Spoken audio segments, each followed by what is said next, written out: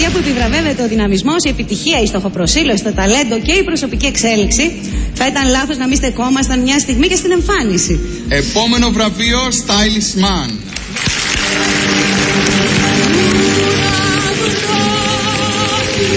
Δεν ξέρω